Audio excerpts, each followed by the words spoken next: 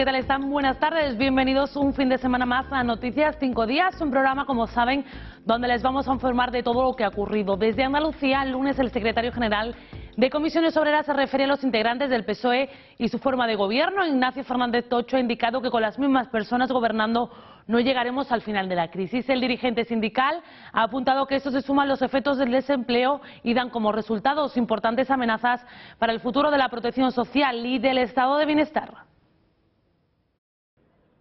El secretario general de Comisiones Obreras, Ignacio Fernández Tocho, ha asegurado que tiene dudas de que con las mismas personas en el PSOE y en el Gobierno se cambie de política para alcanzar la salida de la crisis. En ese sentido, el secretario ha considerado que lo que debe cambiar en el PSOE es la política que está desarrollando, que según Tocho no son las adecuadas y están provocando un retraso en la salida de la crisis económica. Esto es lo que tiene que cambiar en la orientación.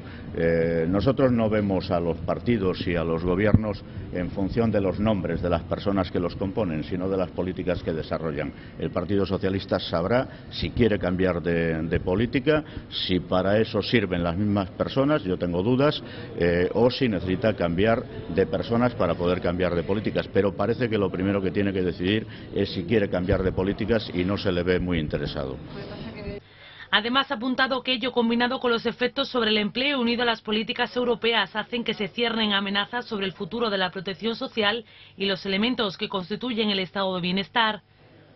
En otro orden de cosas, Tocho ha mostrado su confianza para avanzar esta semana en la negociación colectiva que mantienen con los empresarios. Somos conscientes de que no se puede mantener la negociación abierta de forma permanente yo creo que en esta semana se puede dar eh, un paso importante a condición de que, eh, en este caso, en mi opinión, ellos dirán lo contrario, seguramente las organizaciones empresariales renuncien a posiciones eh, maximalistas o a introducir en la reforma cuestiones que no tienen nada que ver con el continente de la negociación colectiva y tienen más que ver con los contenidos. ¿no? El secretario general que se reunirá mañana junto a su homólogo de UGT, Cándido Méndez, y con el representante de la COE, Juan Rosell, espera que se pueda llegar a un acuerdo en un espacio temporal muy corto. Y Almería es hoy epicentro del proyecto europeo URBAT, que se encarga de rehabilitar los edificios de los cascos históricos de los más de 250 ciudades de Europa que trabajan con este programa. El proyecto URBAT permitirá dinamizar el centro histórico de Almería hasta el año 2013 con una gran remodelación y rehabilitación de edificios del casco histórico. En el salón de plenos del ayuntamiento se hablaba hoy en distintos idiomas y es que son muchos los representantes de diversos países que se encuentran en la capital para explicar las actividades que están ejecutando dentro del proyecto europeo Urbac Links. Un encuentro que sirve para poner de manifiesto las diferentes experiencias y ayudar con sus programas que se basan en la revitalización de los espacios más antiguos de sus ciudades a los progresos de otros países. Es una reunión del Urban dentro del proyecto Urbact que eh, distintas ciudades europeas en red estamos trabajando en ello. Conjuntamente la propuesta es intercambiar las experiencias de lo que se está realizando en cada uno de los centros históricos en lo que se está actuando. Tenemos una coordinación de la Unión Europea de las personas que vienen a echarnos una mano también ayudarnos eh, en todas aquellas cuestiones que puedan ser interesantes y sobre todo eh, para intentar optimizar los recursos que a disposición del Ayuntamiento de Almería ha puesto la comisión a través del proyecto Urban. El alcalde de Almería, Luis Rogelio Rodríguez, ha destacado que estos encuentros se producen cada cinco meses y en esta ocasión le ha tocado ser la anfitriona a Almería. Los representantes de Francia, Grecia, Holanda, Irlanda, Bélgica, Rumanía e Italia estarán en la capital hasta el próximo jueves. Un hombre de 62 años, policía nacional jubilado, era detenido esta semana en Granada tras confesar a la policía local que había matado con un cuchillo a su mujer, cuyo cadáver era encontrado por los agentes de su vivienda. Según informaba el portavoz de este cuerpo, el hallazgo tenía lugar sobre las 8 del pasado lunes en un inmueble del número 4 de la calle Periodista Luis de Vicente, ubicada en la zona norte de la ciudad. Un policía nacional jubilado de 62 años ha sido detenido hoy en Granada tras confesar a la policía local que había matado con un cuchillo a su mujer. El cadáver ha sido encontrado por los agentes con claros signos de violencia sobre las 8 de la mañana en un inmueble ubicado en la zona norte de la ciudad. Tras cometer el crimen, el agresor bajó a Ambar en actitud bastante nerviosa y con manchas de sangre y confesó lo ocurrido a una unidad de la policía local que se encontraba allí. José Manuel Fernández es el portavoz de este cuerpo.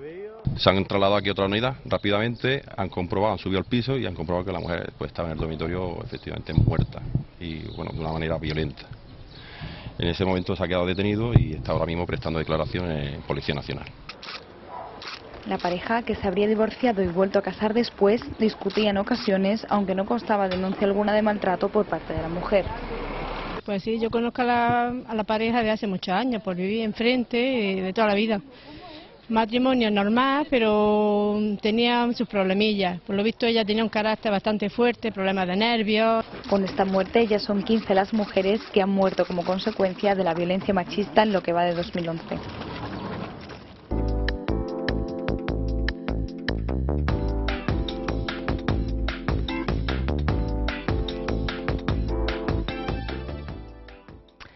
El Partido Popular preguntará al Tribunal de Cuentas por un desfase presupuestario de 170 millones relacionados con los seres, así lo anunciaba desde Huelva el presidente del Partido Popular Andaluz, Javier Arenas. Quieren que la Fiscalía del Tribunal de Cuentas analice las irregularidades que se han ido denunciando por los expedientes de regulación de empleo. Además, por otro lado, ha asegurado que el PSOE mantiene en sus filas a 106 cargos públicos imputados por diversas causas. Una reunión que ha sido precedida por un paseo por la Gran Vía, una de las obras importantes que se han realizado en los últimos años en la capital y que ha terminado en el Monumento a la Virgen del Rocío.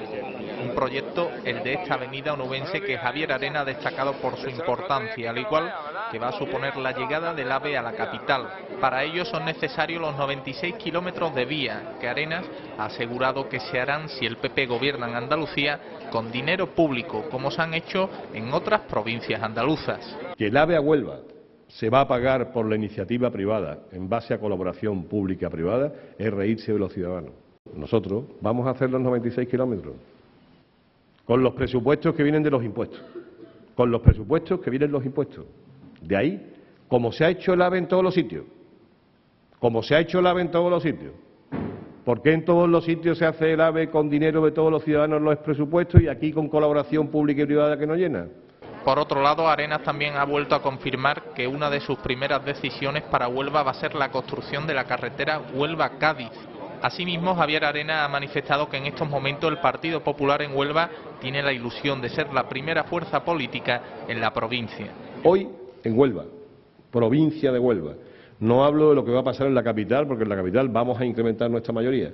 Hoy en la provincia de Huelva estamos en condiciones de aspirar a ser la primera fuerza política. Además, Arena ha dicho que el cambio en Andalucía y en España va a beneficiar a los ayuntamientos con un plan de descentralización que permita la financiación local en los consistorios.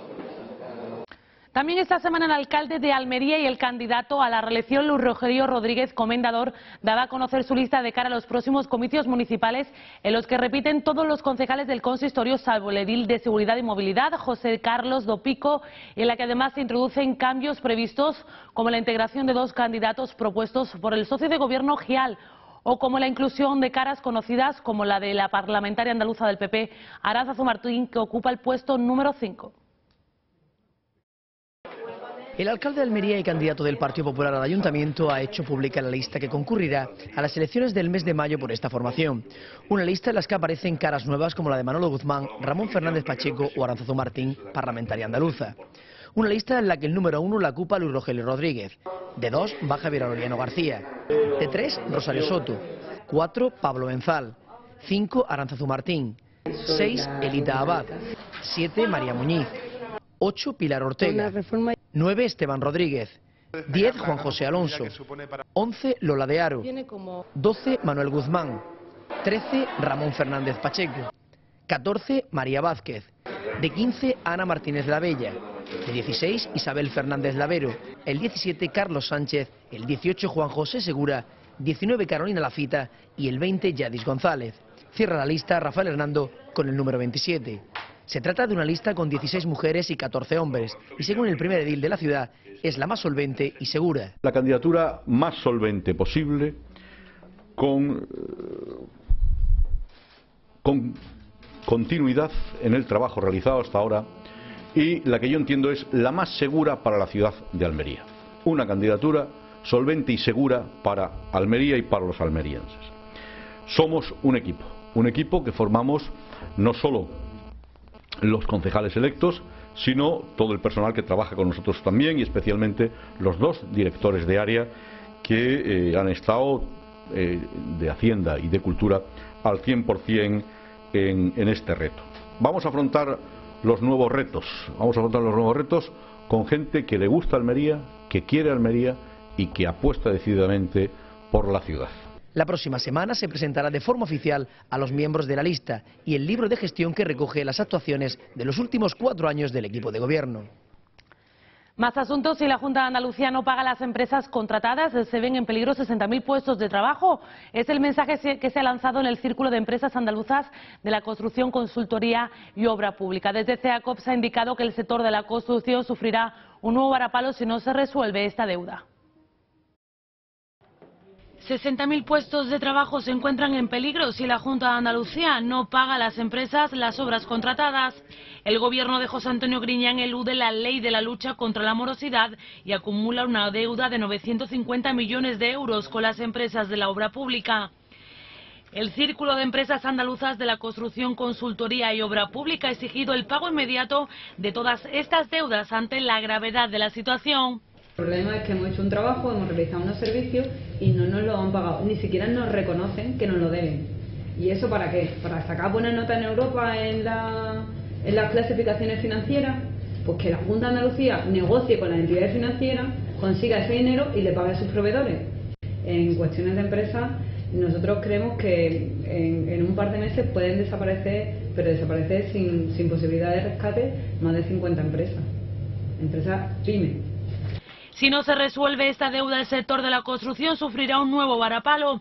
A los 200.000 desempleados actuales del sector habrá que sumar estos 60.000 más directamente y de forma inminente por la falta de pago. SEACOP ha realizado estas manifestaciones ya que la situación a la que ha llegado el sector es realmente crítica, estando en juego además la supervivencia de decenas de empresas.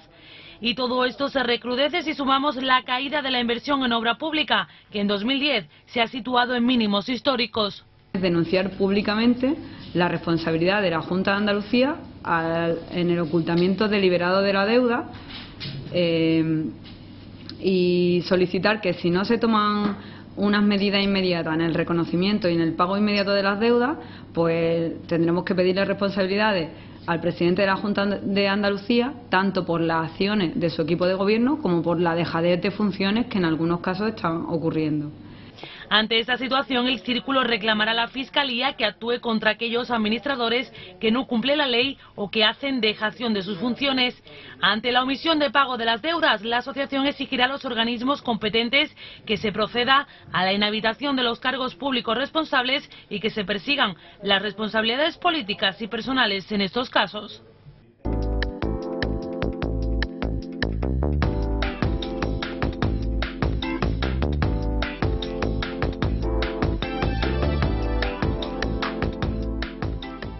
El pasado miércoles se celebraba la sesión al control del Congreso de los Diputados. Varios temas protagonizaban esta sesión.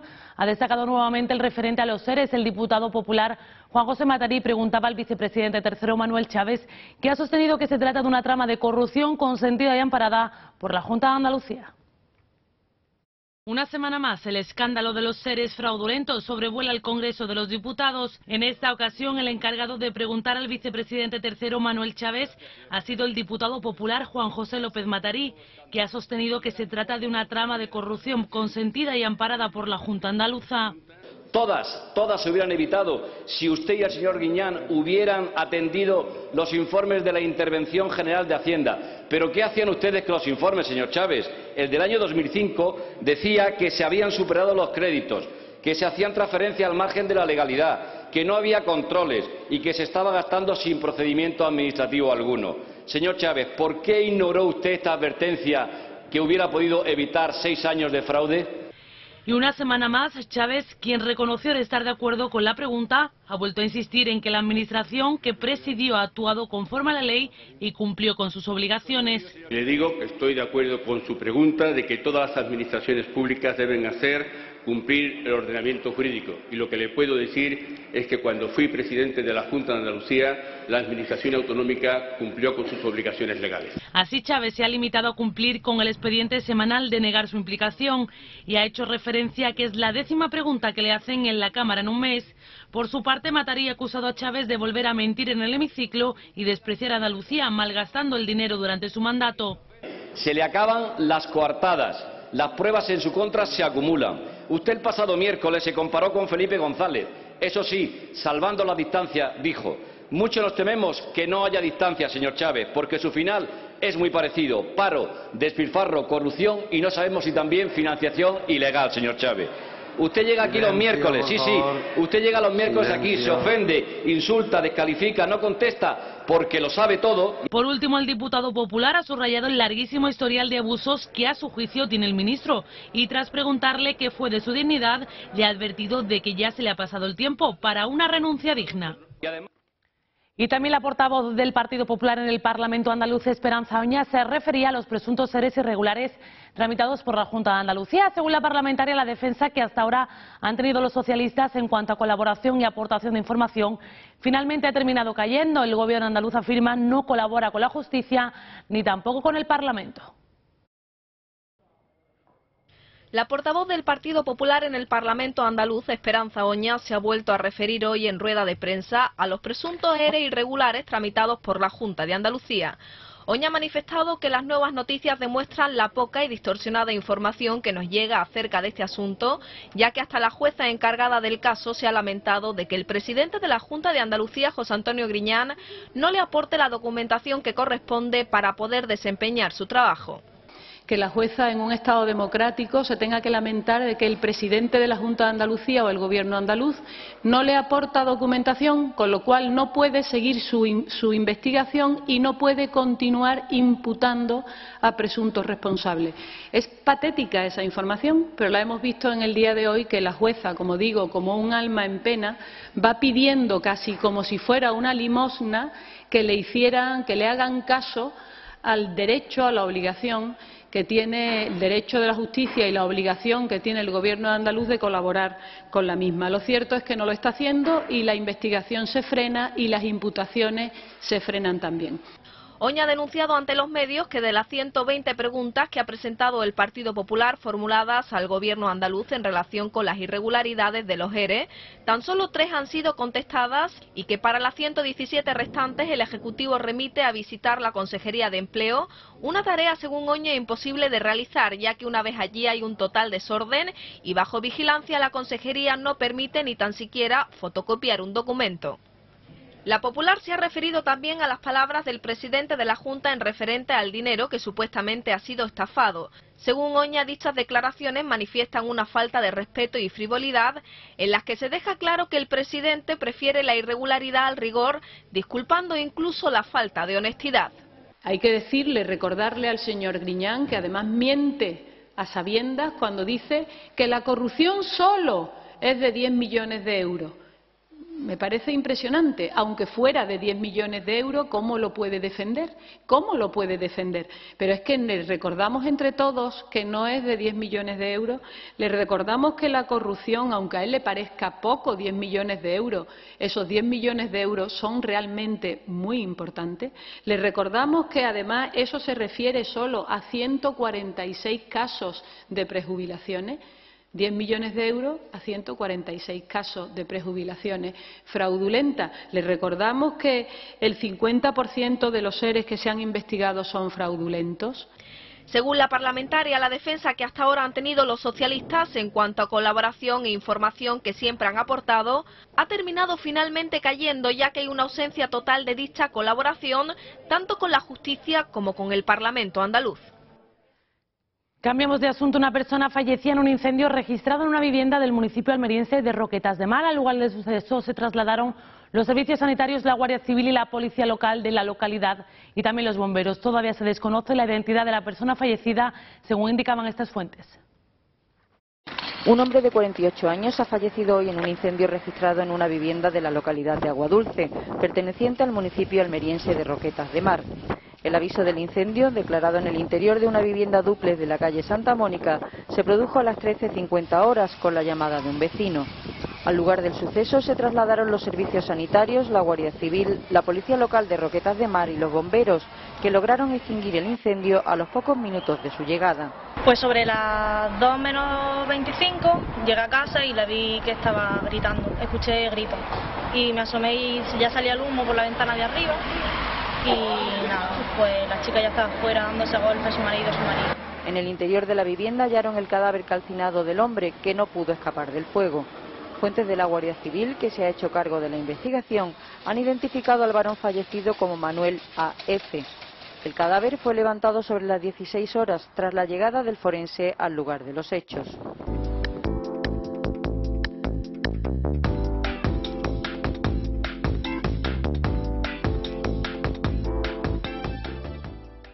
El presidente del Partido Popular Andaluz, Javier Arenas, se ha vuelto a referir al caso de los seres irregulares tramitados por la Junta de Andalucía. Según Arenas, el PSOE está creando una segunda trama para impedir una investigación judicial y parlamentaria sobre este escándalo. En la presentación del alcalde de Huelva, Pedro Rodríguez, en la tribuna del Fórum Europa, el dirigente además ha apuntado a la necesidad de la dimisión de Manuel Chávez y José Antonio Griñán.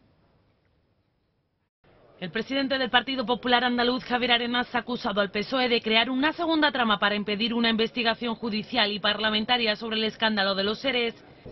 En las próximas horas nosotros vamos a pedir la convocatoria urgente de un pleno del Parlamento de, de Andalucía para abordar estas cuestiones y dentro de media hora pediremos la convocatoria urgente de la Junta de Portavoces del Parlamento de Andalucía. Estas declaraciones se producen un día después que la juez que investiga el caso reprochara al gobierno autonómico su falta de colaboración para entregar los documentos. El Popular ha anunciado que su formación va a solicitar la convocatoria urgente en un pleno del Parlamento para abordar estas irregularidades. Es verdad, lo ha dicho una juez, que hay un, una trama en torno a los ERE y también es verdad que hoy estamos asistiendo a una especie de trama, a una segunda trama, para impedir que haya una investigación judicial a fondo y una investigación parlamentaria. En mi opinión, los asuntos que nos están ocupando son tan graves que bien hubieran merecido la renuncia del actual y del anterior presidente de la Junta de Andalucía. En la presentación del alcalde de Huelva, Pedro Rodríguez, en la tribuna Andalucía, Foro Europa, el dirigente además ha apuntado a la necesidad de la dimisión de Chávez y Griñán y ha lamentado el daño que se le está haciendo a Andalucía y que no se puede equiparar la comunidad con la conducta de algunos. Por último, ha atribuido el origen de esas irregularidades a que los actuales gobernantes socialistas y los anteriores han entendido que el poder sería eterno y, según Arenas, han montado una especie de sistema para eludir el control del dinero procedente de los impuestos. Pues sobre este asunto y en respuestas a los periodistas, el vicepresidente tercero Manuel Chávez mostraba su absoluta convicción de que la Junta de Andalucía ha mantenido una sincera colaboración con la justicia en el caso de las irregularidades detectadas en los expedientes de regulación de empleo. El vicepresidente tercero del Gobierno y ministro de Cooperación Territorio, Manuel Chávez, ha considerado justa el auto del Tribunal Supremo que impide a Sortu presentarse a las próximas elecciones municipales. Sin embargo, ha advertido que dicha formación seguirá intentándolo por otras vías. En declaraciones a los periodistas tras inaugurar en Sevilla la nueva Biblioteca Municipal Felipe González, Chávez ha considerado que Sortu ha perdido la gran oportunidad histórica de presentarse como partido político a las elecciones. En su opinión, no ha hecho lo que tenía que hacer y eso es lo que ha constatado la Sala 61 del Tribunal Supremo. Yo creo que eh, la sentencia es una sentencia justa en este sentido y creo que en este sentido, como he dicho antes, profesor, tú ha perdido su gran oportunidad.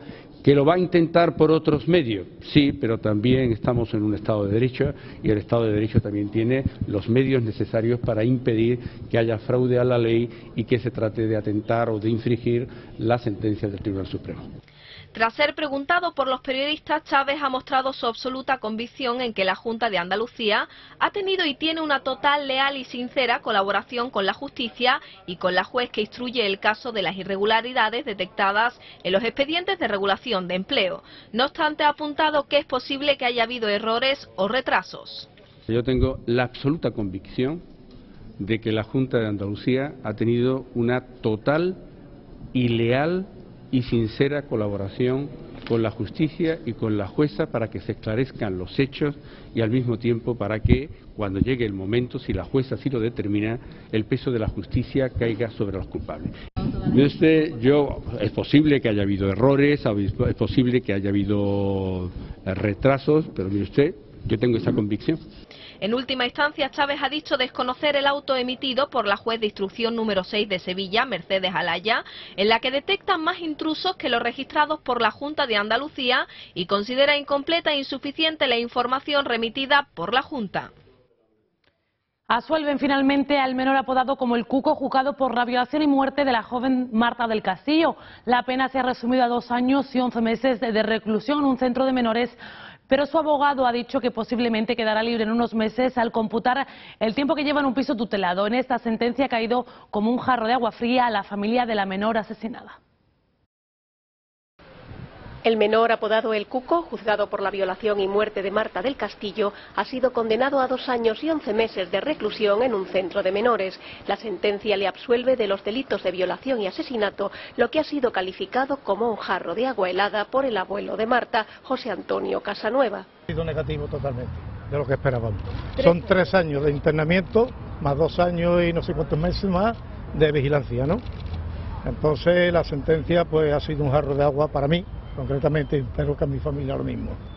Por su parte, el abogado del menor, Fernando de Pablo, ha expresado su satisfacción por la absolución de violación y asesinato y su rechazo a la condena por encubrimiento. Me alegro de que no haya prosperado la cuestión de inconstitucionalidad, que hubiese sido dejarnos sin sentencia durante un montón de años. Eh, por otra parte, también me alegra, lógicamente, que lo asuelvan de asesinato y lo asuelvan de violación, indudablemente, pero no estoy conforme con que lo lo condenen por encubrimiento. Entonces ya la, estudiaré con tranquilidad y, en su momento pues anunciaré el recurso. ¿eh? En el juicio, tanto la Fiscalía como la acusación particular que ejercieron los padres de Marta pidieron para el Cuco seis años de internamiento, el máximo previsto por la ley penal del menor, por dos delitos de violación y uno de asesinato. Y el Museo de Carmen Thyssen en Málaga, con una colección permanente de 230 obras, quedaba inaugurado en un acto con numerosos invitados, entre ellos el actor malagueño Antonio Banderas, que destacaba la importancia de la colección de la baronesa y la rehabilitación del palacio donde se expone. El Palacio de Villalón, en el casco histórico de la ciudad de Málaga, ya está listo para abrir sus puertas convertido en el Museo Carmen Thyssen. Los arquitectos Javier González y Rafael Roldán han devuelto el esplendor a este emblemático edificio del siglo XVI que mañana abrirá sus puertas al público para que pueda contemplar la colección permanente de la baronesa, cuyas 230 obras ofrecen un recorrido por la pintura española del siglo XIX. Carmen Thyssen ha presentado a los medios el museo que lleva su nombre. La selección ha sido por la belleza de las obras, la calidad de las obras y porque creo que pertenecen Andalucía son casi, bueno, también hay cuadros que no son andaluces, como Sorolla y Rebollos, Peruete, pero también hay mucha obra andaluza. La baronesa ha prestado de forma gratuita estas obras por un periodo de 15 años, aunque confía en alcanzar un acuerdo que permita que la colección permanezca más tiempo. Bueno, pues hasta aquí las noticias de esta semana en Andalucía. Ya saben que volvemos la próxima con toda la información de nuestra comunidad autónoma. Que disfruten del fin de semana.